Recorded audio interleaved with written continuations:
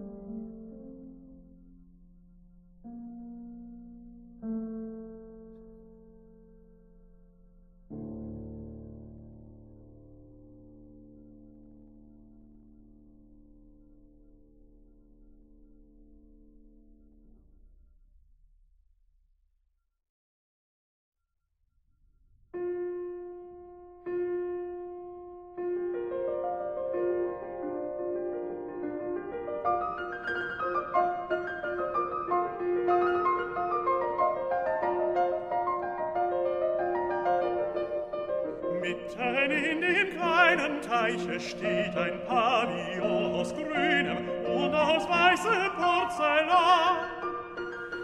Wie der Rücken eines Tigers fällt die Brücke sich aus Jahren zu dem Pavillon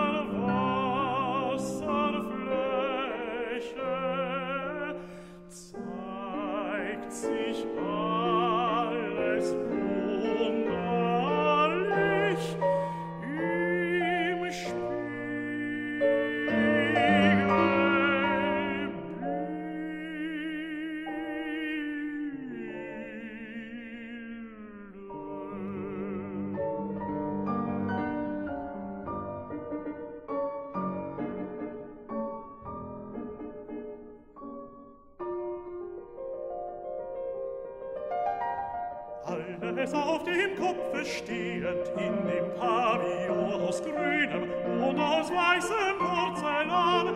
Wie ein Halbmond scheint die Brücke, umgekehrt